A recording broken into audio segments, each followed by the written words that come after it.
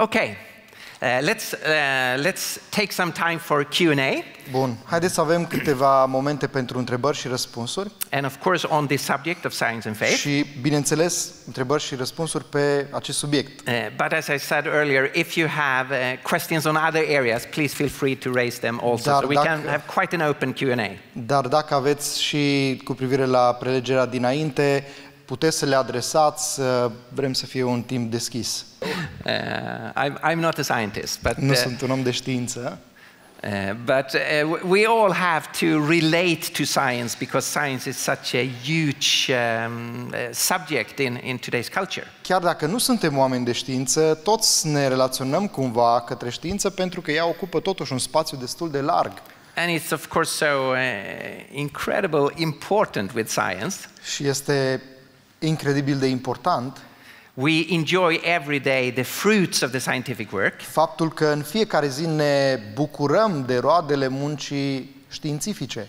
we live in warm houses, Uh, Trăim în case încălzite, we have uh, medicine and uh, doctors, avem acces la medicamente, la computers medici, and cars and uh, calculatoare, refrigerators. mașini, frigidere. Every second of our life, we enjoy the fruits of science. În fiecare secundă a vieții ne bucurăm de roadele științei. So it's extremely important that we can affirm science. Deci este foarte important ca să putem uh, valorifica And it's very Știința. dangerous if Christians become kind of anti-science. și foarte periculos dacă creștinii devin anti-știință.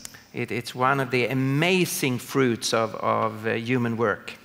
Um, Știința este una dintre roadele uimitoare ale uh, muncii lucrărilor umane.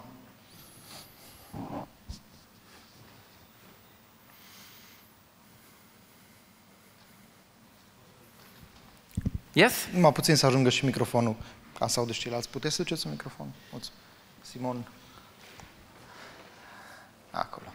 Roșu. Da,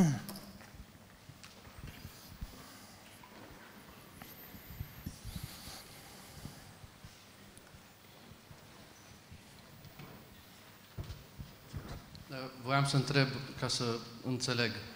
În încercarea de a armoniza uh, credința creștină cu știința, propuneți cumva uh, teorii precum este evoluționismul teist? Uh, Nu, nu mi-a fost lucrul ăsta clar. Uh, Pot să întreb și în engleză? Da, te rog. Uh, I was wondering uh, in this, uh, uh, when you try to harmonize Bible and science, would you prefer uh, or would you propose a model like the theistic evolution? Uh, so uh, the, the question is about how do we harmonize um, uh, science and faith, and then specifically, I, uh, uh, I understand you're asking about how we harmonize uh, Genesis 1 to 3 with, uh, with uh, uh, modern science, With evolution in general. with evolution, yeah? If you support such a model of theistic evolution or gap theory or other models. yeah. So I've, um, as, as you notice, I've, uh, I've chosen not to go, go into the, uh, the whole issue of, uh, uh, of evolution.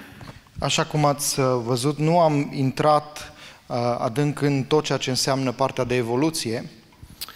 Uh, and I could, of course, have, have done that, and we could have talked about this man with the big, uh, big beard, Puteam să facem lucrul ăsta și să vorbim despre bărbosul de pe imagine, uh, Charles Darwin, Charles Darwin, and uh, how Christians respond to his, uh, to his theory. și cum răspund creștinii teoriei sale. And of course, that is, uh, uh, that is a second area where there have been conflict amongst uh, at least some Christians and a scientific theory. Este o a doua zonă în care apare conflictul între unii creștini și oameni de știință. So, if Galileo is the first big example, Charles Darwin would be the second big example. Dacă Galileo este primul exemplu mare, Charles Darwin este al doilea exemplu major.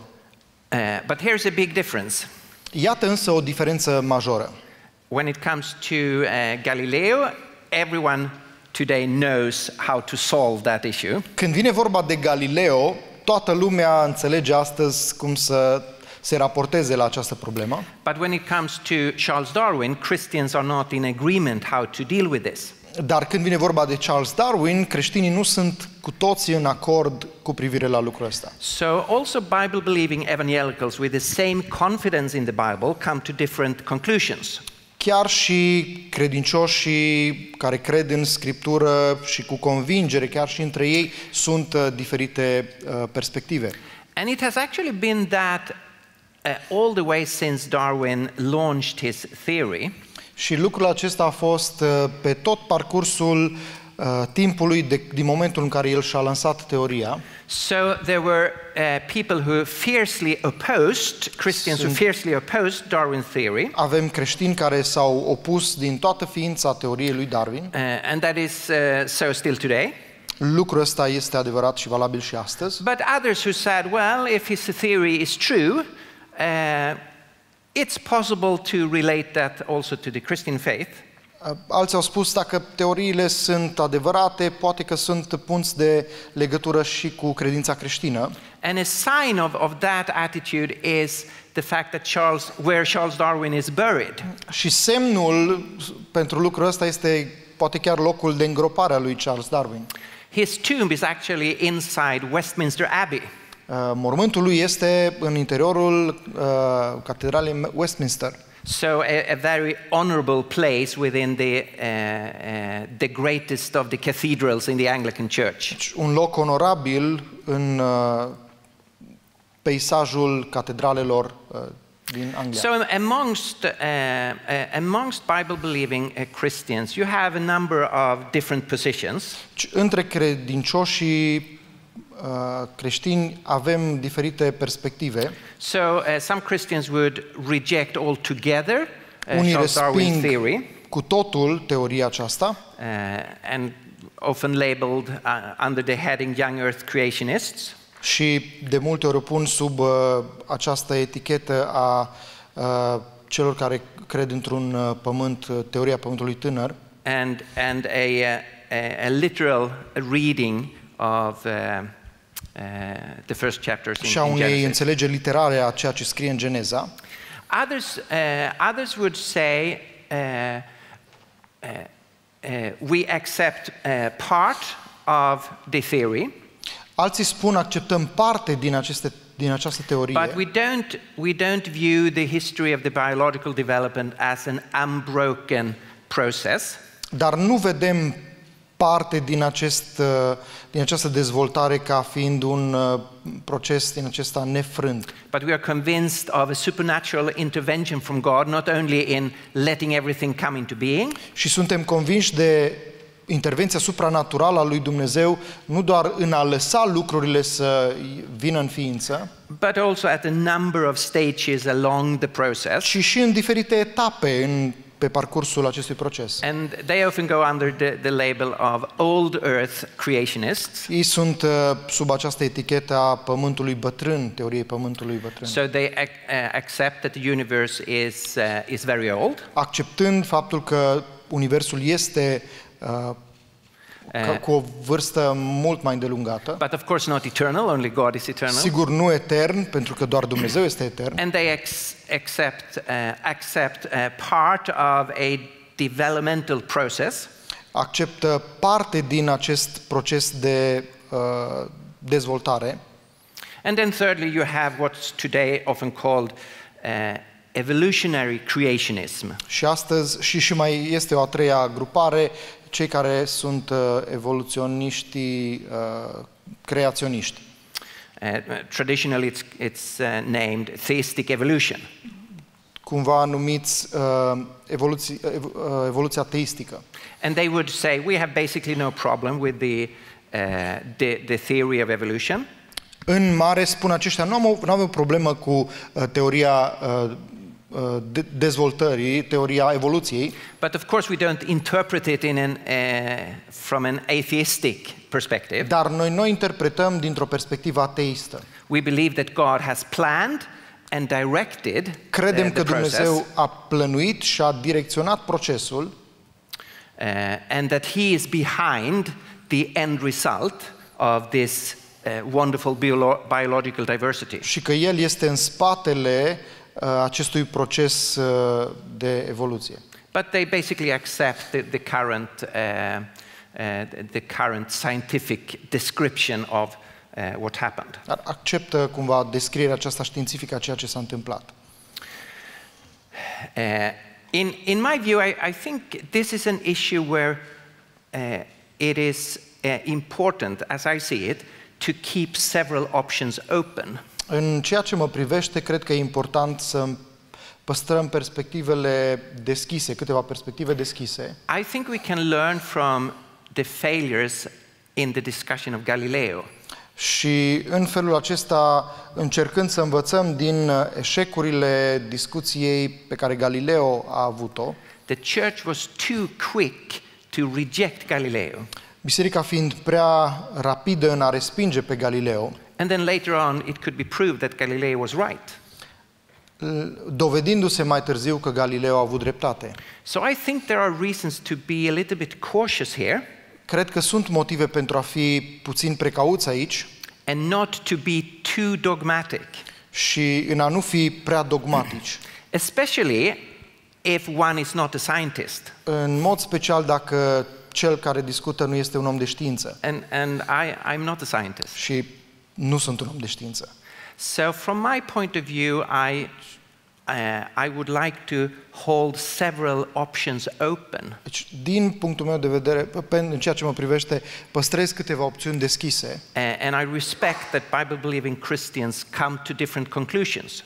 și înțeleg că uh, sunt credincioși, uh, creștini care ajung la diferite concluzii. Uh, in my own work in Sweden, we have recently published a dialogue book. În uh, munca pe care o fac în Suedia am publicat de curând o carte care se bazează pe dialoguri Uh, it, it's called uh, Creation and Evolution for Christians in Conversation. Ea se numește Creație și evoluție pentru creștinii în dialog. So we have inviting four Bible believing Christians with different positions on this issue to dialogue with each other. Am invitat patru uh, credincioși evanghelici pe patru diferite poziții, perspective, să fie în dialog unii cu alții.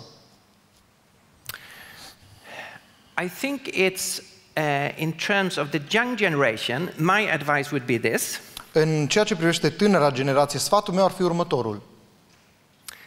to help uh, young people uh, to, uh, or, uh, so, sorry, let me begin again. Um, I, I think it's a mistake to put on a too big burden on young people Cred că este o greșeală să punem o povară prea mare pentru, pe umerii celor tineri So I think it's a mistake if we say to our young generation, și prin aceasta cred că este o greșeală când spunem, să spunem celor din generația tânără uh, uh, as a Christian, I reject the current scientific understanding. Uh, ca și creștini, noi respingem înțelegerea științifică. I don't know anything about it. Nu știu nimic despre asta, I'm not a scientist. nu sunt un om de știință, I've not read anything about it. n-am citit nimic despre asta, But I reject what all the scientists are saying. dar resping ceea ce uh, știința spune. That is a very difficult position to be in when you're 14 years old. Asta e o postură foarte grea în care s-ar putea afla cineva de 14 ani. We put an enormous pressure on our young people. Punem o presiune enormă pe tinerii noștri. I think it's much better to have an attitude to say, Cred că o atitudine care ar spune uh, well, if that theory would be true, then I would think like this as a Christian. dacă teoria aceasta ar fi adevărată, iată cum aș gândi ca și creștin.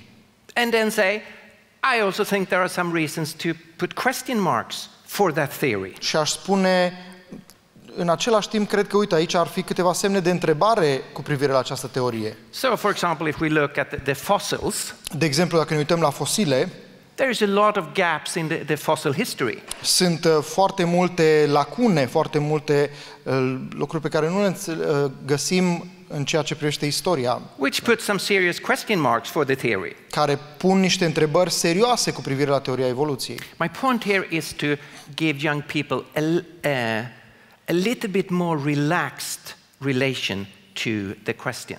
Uh, Scopul meu este să ofer generației tinere o atitudine puțin mai relaxată în toată această discuție and help them to think uh, uh, with different scenarios. și să-i ajut să gândească la diferite scenarii. If the theory is true, then I would think like this. Dacă teoria ar fi adevărată, atunci aș gândi așa, Maybe the theory is not true, poate teoria nu este adevărată then I would think like this. și atunci aș gândi așa. But since I'm not an expert, why should I be forced to take a very definitive position? Dar dacă nu sunt, din moment ce nu sunt expert, de ce ar trebui să fiu forțat să iau o poziție definitivă? What we confess as Christians is that God has created the universe, Ce mărturisim ca și credincioși este că Dumnezeu a creat Universul and I think we could hold it more open when He did it and how He did it. și cred că putem fi un pic mai deschiși la când a făcut lucrul ăsta și cum l-a făcut uh, and gives each other some space there. și să ne dăm unii altora un pic de spațiu aici. Now, you, you, uh, th- that was a long introduction to, to your question, where, what is my position? A Because that fost o was, what, introducere destul de lungă la întrebarea despre poziția mea, that's, that was, I think, what you were interested in. de care cred că în mod final uh, sunteți But, interesați. but I think it's important to, to have this broader perspective on the issue, not just the yes or no to. Cred, și am spus lucrul ăsta pentru că cred că trebuie să avem această perspectivă mai largă, nu doar un răspuns de da sau nu. Uh, so, my, my own position uh, as a non scientist, Poziția mea ca un om care nu sunt de știință, that I'm more, uh, uh, uh, I'm more re- related to the second and third of the three different options I mentioned. sunt mai degrabă în legătură cu a doua și a treia perspectivă pe care le-am uh, menționat, the old earth creationism or the evolutionary uh, crea- creationism than I am to, to the uh, young earth creationism. cu celelalte două, uh, nu cel uh, al pământului tânăr. Am înțeles că ați, ați afirmat că știința nu poate să spună nimic despre creație, din moment ce nu este felia care se poate demonstra. De aceea ă, nu văd cum aș putea să armonizez ceea ce a spus mai înainte cu ceea ce scrie în Scriptură. Din moment ce eu n-am fost acolo, niciun om de știință n-a fost acolo, singurul care a fost acolo este Dumnezeu. Dacă El a scris în felul în care a scris în Biblie, eu trebuie să-L cred pe cuvânt ceea ce apare în Geneza. Dacă nu, pot să arunc toată Biblia și pot să chestionez oricare afirmație a Bibliei. Yeah, thank you. That's, a, that's an important observation. Este o observație importantă. So there is a difference uh, uh, within science. Și asta pentru că este o diferență în știință. Biology means uh, the doctrine of life.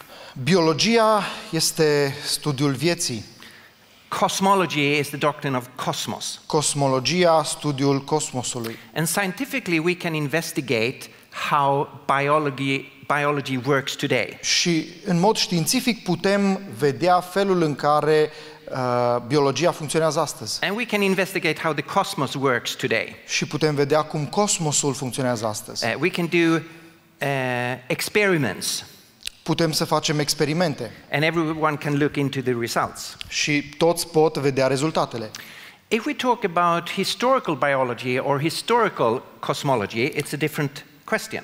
Dacă vorbim despre biologia istorică sau cosmologia istorică, este o întrebare diferită, It's more difficult to investigate how the cosmos worked in antiquity. pentru că este foarte greu de determinat cum a funcționat cosmosul în antichitate or biological life 10,000 years ago. sau viața biologică acum 10.000 de ani. So we cannot do experiments in the same sense. Deci nu putem face experimente în același fel în care le facem So there's astăzi. a lot more of uh, uncertainties. Sunt evident mult mai multe nesiguranțe. And it's even more so if we go to what's called uh, biogony and cosmogony.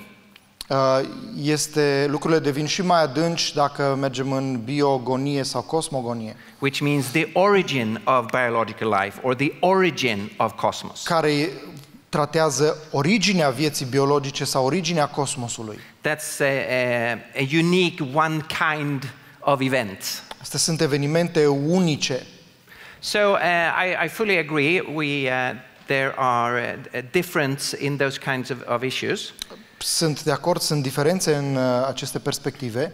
And, and of course, no one was there to see what happened when God created Sigur, n-a the fost universe. nimeni acolo să vadă ce s-a întâmplat când Dumnezeu a dat naștere Universului.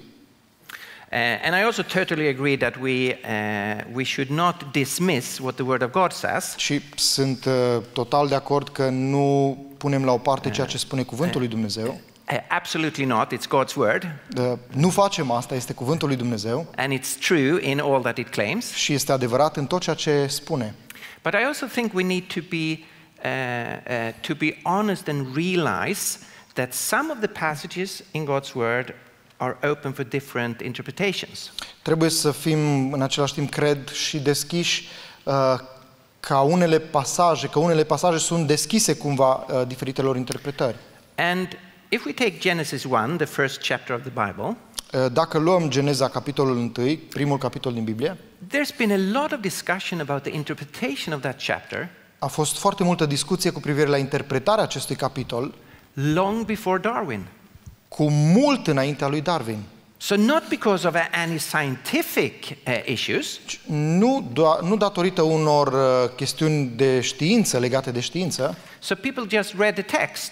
Oamenii au citit pur și simplu un text And a lot of readers have said, I'm not sure this should be read literally. și mulți au spus, nu sunt sigur că asta ar trebui să fie citit într-un mod literal. So the Jewish philosopher Philo, Uh, filo, uh, filozoful uh, ev- evreu he was a contemporary with the Apostle Paul. a fost contemporar, contemporan cu apostolul Pavel. He writes about Genesis 1 El scrie despre Geneza, capitolul 1. And said, I don't think it should be read literally. Și spunea el, nu cred că ar trebui să fie citit literal. It's not about six real days that God created the universe. Spunea el, nu sunt șase zile literare în care Dumnezeu a creat Universul, He thought that God created everything instantaneously. ci el a crezut că Dumnezeu a creat totul instant. But in order to help us to reflect over the world that God created instantaneously, Dar ca să ne poată ajuta pe noi să reflectăm asupra lumii pe care Dumnezeu a creat-o instant, Moses described it as events during six days and God rested on the seventh. Moise a descris evenimentele ca întâmplându-se pe parcursul, pe durata a șase zile și apoi odihna în ziua șaptea. And a number of the church fathers read it in the same way. Un număr important de părinți ai bisericii au citit în felul acesta. The most famous of them is uh, Augustine. Augustin este unul dintre cei mai cunoscuți dintre ei. Uh, he did not read Genesis 1 as a literal Not- six days week. Citit Geneza 1 ca fiind uh, într-un mod literal. So the point of this is to say this chapter has always been discussed what is the right interpretation. Uh, ideea este, totdeauna capitolul ăsta a fost în discuție care este interpretarea uh, corectă. So I, I find it hard to say there is only one possible uh, reading of the chapter. Mi-ar fi greu să spun că există doar o singură citire sau o singură interpretare a capitolului.